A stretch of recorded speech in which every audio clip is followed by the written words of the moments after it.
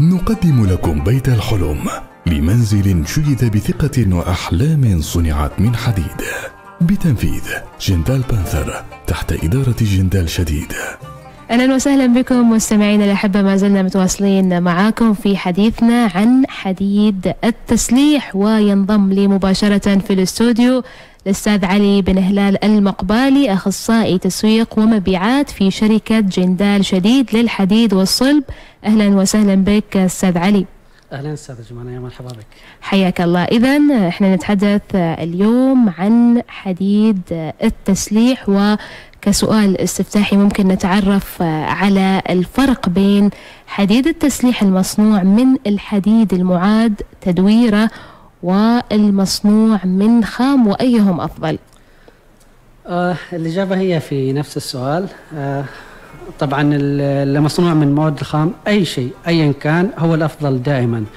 فالحديد التسليح المصنوع من الحديد المعاد تدويره ما ينصح فيه. الجودة مش جيدة دائما لأنه هناك في شوائب. يعني حديد استخدم في سيارات أو استخدم في مباني أو استخدم في أشياء أخرى سابقا وتم إعادة تدويره.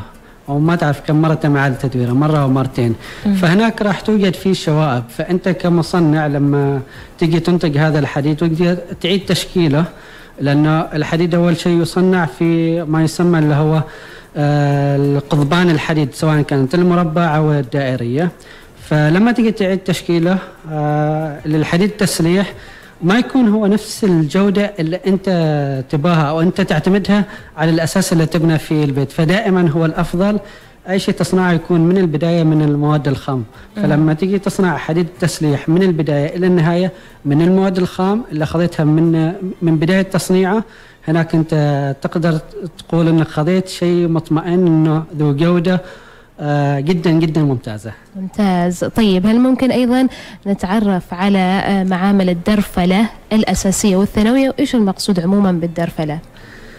آه هو معمل الدرفلة من نفس الإجابة السابقة. نعم. لما ذكرت يتم إعادة تشكيلة.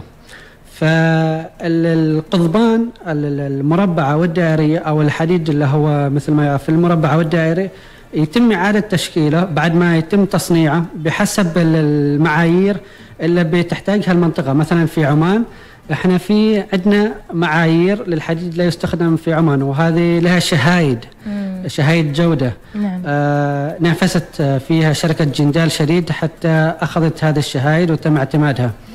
ف الكيمياء المصنعة في القضبان من البداية تكون مبنية بحسب هذه المعايير اللي تتناسب مع البيئة اللي موجودة في عمان البيئة الرطبة والبيئة الحارة. بدل ما نستورد حديد من الخارج من شركات أخرى.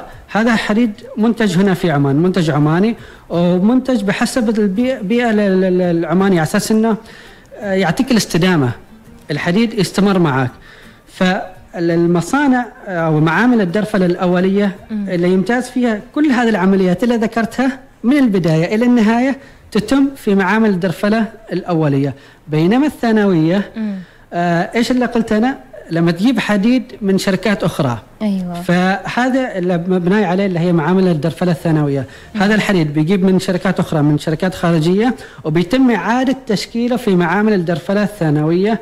فهنا أيضا بنرجع لنفس ال ال ال الإجابة الأولى الجودة. أنت ما سويت شيء مبني على البيئة اللي موجودة عندك في عمان البيئة الرطبة والبيئة الحارة.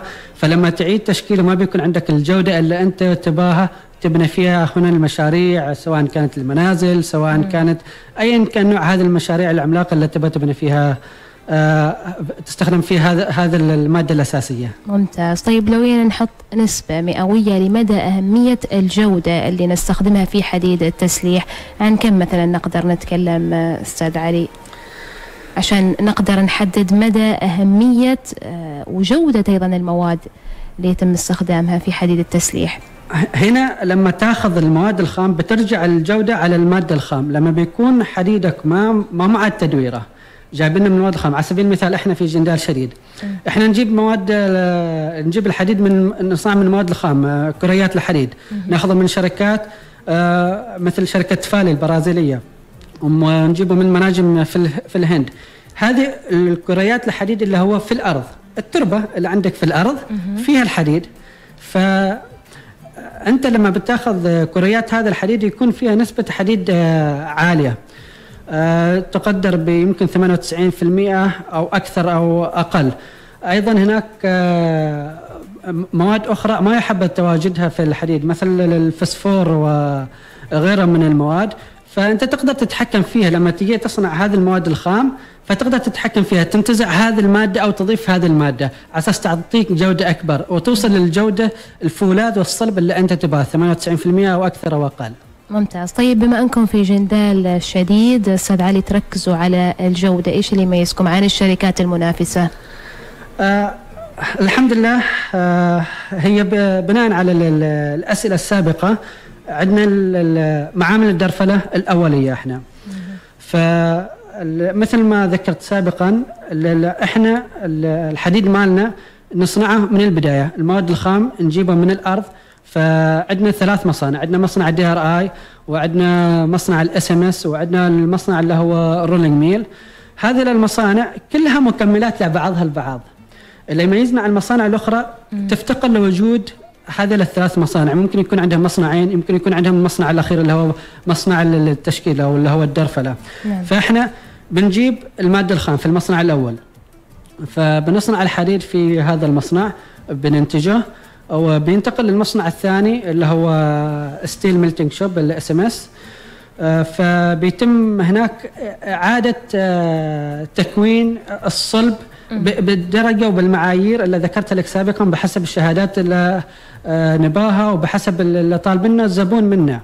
فهناك بنضيف المواد الكيميائية اللي بيحتاجها هذا المعيار. طيب مرورا بكل هذه عمليات الإنتاج والمراحل هل يخضع الحديد لمعالجة معينة أثناء فترة التصنيع لرفع جودته؟